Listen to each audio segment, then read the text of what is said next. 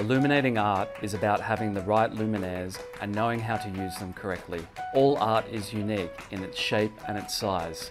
But standard lighting products can't be adjusted to do this, resulting in halo, arcs, light spill, glare, and poor colour rendering. Introducing our solution, L'Art Deluxe.